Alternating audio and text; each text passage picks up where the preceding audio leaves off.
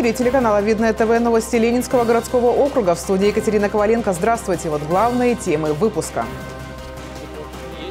Станислав Катаров проверил состояние инфраструктуры в Центральном парке. Есть пожелание изменить некие цветовые гаммы скамеек, поменять урны. Акция «10 тысяч шагов к жизни» собрала сотни жителей муниципалитета. Все встретились ежегодно, традиционно, для того, чтобы открыть наш новый активный сезон. На стадионе «Металлург» прошла первая игра Кубка Московской области по футболу. Игра отлично, подошел в середине первого тайма. Апрель в муниципалитете объявлен месяцем чистоты и благоустройства.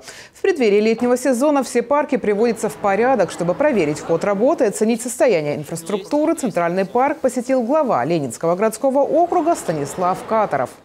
Это колесо новое. Старое убрали, это новое. Здесь кабинки открывать, закрывать, есть со стеклом, есть эти иллюминации на них, все остальное ну, как бы вот меньше 20 лет многим аттракционам. Сейчас вот эти пластики были раньше металл. Аттракционы, дорожки и тротуары, детские, игровые и спортивные площадки. От внимания главы муниципалитета не ускользнула ни одна деталь.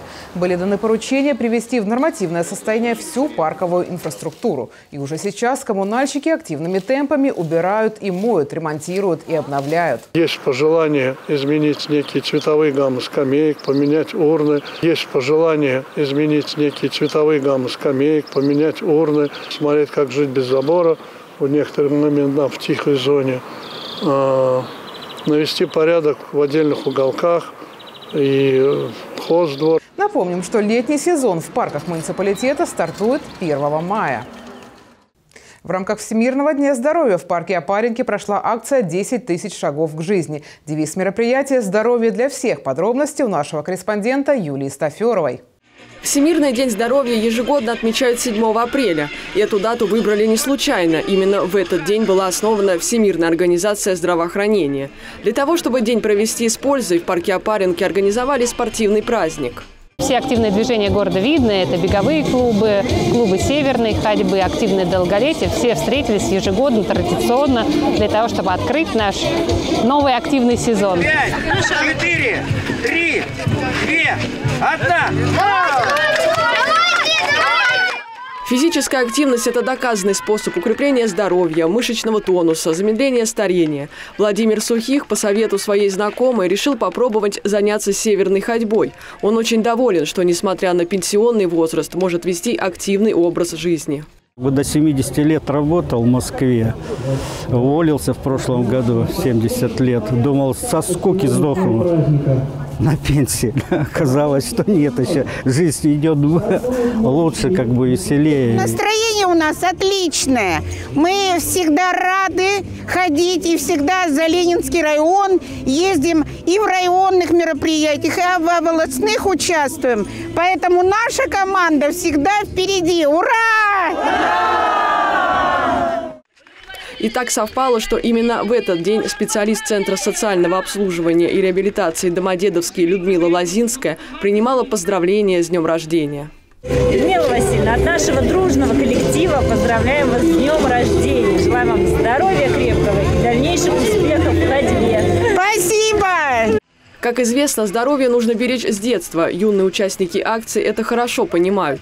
Поэтому с большим удовольствием приняли участие в маршруте здоровья. Иван Лощинин занимается в спортивной школе «Вымпел» и мечтает стать профессиональным спортсменом. Благодаря подготовке он занял первое место в своей категории. Была легкая борьба. Сначала бежала маленькая девочка, я ее обогнал. И ну, это было очень легко. Всем участникам акции «10 тысяч шагов к жизни» вручили памятные медали. Юлия Стаферова, Алексей Астафуров, Ольга Садовская. Видное ТВ. Всемирный день здоровья отметили в детской поликлинике. Сотрудники провели лекции и мастер-классы на тему правильного образа жизни. О том, как прошло мероприятие, наш следующий сюжет – Центр здорового ребенка на базе детской поликлиники работает довольно давно и успешно. Его главной задачей является обследование детей и подростков для выявления заболеваний на ранней стадии. В этот центр могут обратиться пациенты со второй группой здоровья без хронических заболеваний. Виды обследований предлагают очень разнообразные, такие как комплексное обследование на аппарате «Кардиовизор». Это э, функция сердечно-сосудистой системы. Также биоимпедансметрия – это определение э, соотношения белков, жиров и мышц воды в организме детей. Э, спирометрия для определения объема легких и жизненной емкости легких. Также антропометрия – это определение роста, веса детей – и э, они у нас проходят э, программное тестирование на компьютере для определения э, психологического состояния. По случаю Всемирного дня здоровья сотрудники центра провели мероприятие для детей и их родителей. Опытные специалисты рассказали о том, как вести здоровый образ жизни. Напомнили детям и подросткам о правильном питании. Врач-офтальмолог показал гимнастику для глаз, а инструктор по лечебной физкультуре провел занятия для профилактики плоскостопия. Сейчас поднимаем вверх да, все подняли пальчики, стоим на полной стопе. Нет, на пяточки вставать не надо. Поднимаем только пальчики. И опускаем пальчики обратно. Еще разочек подняли. Да, пустили. Данное мероприятие проводится для того, чтобы привлекать детей, их родителей к теме здоровья, потому что нужно беречь здоровье с молодости. Благодаря лекциям и мастер-классам от врачей, родители юных пациентов узнали для себя много полезной информации. Я вынесла для себя очень много о правильном питании. Оказывается, у нас э, в поликлинике появился кабинет здоровья, где можно обследовать ребенка. То есть э, для этого нужно обратиться к своему педиатру, либо к любому узкому специалисту. Мероприятие очень интересное, мне нравится. У меня есть еще старшая дочь, подросток. Много для чего себя услышала. Поэтому обязательно пройду с ними, приду в Центр здоровья и пройдем с ними обследование. Не обошлось и без творчества. Детям предложили поучаствовать в конкурсе на лучший рисунок на тему «Папа, мама, я. Здоровая семья». По завершении мероприятия все ребята получили призы. Юлия Стаферова, Кирилл Иванов, Ольга Садовская. Видное ТВ. При возникновении экстренных ситуаций важно знать, как действовать, чтобы обезопасить себя и при этом не поддаваться панике и стрессу. В Центральной библиотеке прошла антикризисная встреча, на которой эксперты рассказали, как вести себя во время чрезвычайных происшествий. При поддержке местного отделения организации «Опора России», администрации городского округа, общественной палаты и сообщества предпринимателей прошла встреча, нацеленная на просвещение граждан в вопросах собственной безопасности. Все эти вот моменты, которые надо бы знать, желательно знать всем жителям не только Ленинского городского округа, но и России – как э, в тех или иных ситуациях себя вести, как действовать. Зачастую не все знают, как себя правильно в той или иной ситуации вести. Поэтому это э, востребовано на данный момент. Заместитель начальника отдела надзорной деятельности и профилактической работы по Ленинскому городскому округу Олег Савченко рассказал об использовании огнетушителя и о том, как действовать в случае возгорания.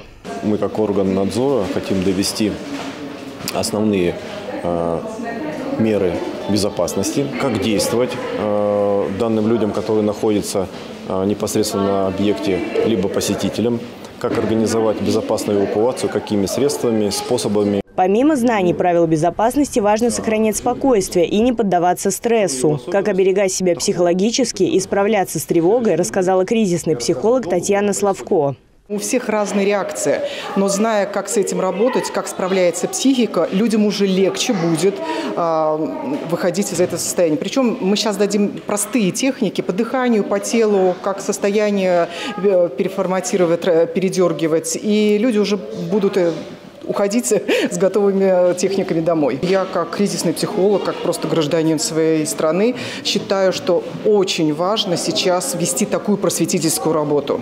Такие встречи с сотрудниками МЧС и психологами проводятся в Ленинском округе регулярно. Они просвещают граждан в вопросах безопасности собственной жизни. Инга Янчук, Кирилл Иванов, Ольга Садовская. Видное ТВ. Для любителей футбола появилась новая возможность посмотреть игру с трибун стадиона «Металлург». Одноименная команда принимает участие в розыгрыше Кубка Московской области. О том, как прошла первая игра, расскажет Дмитрий Книга. На стадионе «Металлург» состоялся первый матч розыгрыша Кубка Московской области по футболу. В 1-8 финала наша команда встретилась с гостями из Лыткарина. Перед стартом сезона состав «Металлурга» пополнили футболисты, поигравшие в профессиональных лигах, и теперь команда представляет собой сплав молодости и опыта. У нас появилось порядка пяти человек, и люди, скажем, поигравшие в футбол, прошедшие школу и высшей лиги, и первой лиги, и второй лиги. Так что мы, я считаю, что в этом году ну, достойно усилились. Игра началась с преимущества нашей команды. Видновские футболисты комбинировали и довольно легко проходили центр поля. Несколько результативных атак позволили быстро выйти вперед, а уже к 12-й минуте матча табло фиксировало результат 2-0 в пользу «Металлурга». Игра покажет, что представляем мы из себя на сегодняшний день, что представляет из себя ну, наш противник, к которому относимся с уважением и с пониманием. Тем не менее, латкаринские футболисты быстро пришли в себя и начали оказывать давление на ворота «Металлурга». До конца тайма им удалось отквитать один мяч. Несмотря на прохладную погоду, поддержать нашу команду пришли болельщики. В пас играют хорошо, голы забили, молодцы. Вот, допустим, сейчас атака, чуть третий. Мне все нравится. То есть молодцы ребята. Я, конечно, не профессионал, еще только, скажем так, учусь, да, там узнаю правила, вот, но визуально все супер. Игра отличная, подошел в середине первого тайма, слышал, что 2-0 выигрывает Видное. Я за Видное переживаю, болею. Во втором тайме команды продолжили играть в обоюдоострый футбол с небольшим преимуществом видновской команды. Третий мяч «Металлург» забил с пенальти, тем самым установив финальный счет. Теперь наша команда сыграет в 1-4 финала Кубка Московской области. Дмитрий Книга, Александр Логинов, Ольга Садовская, Видное ТВ. И это все новости на сегодня. С вами была Екатерина Коваленко. До новых встреч!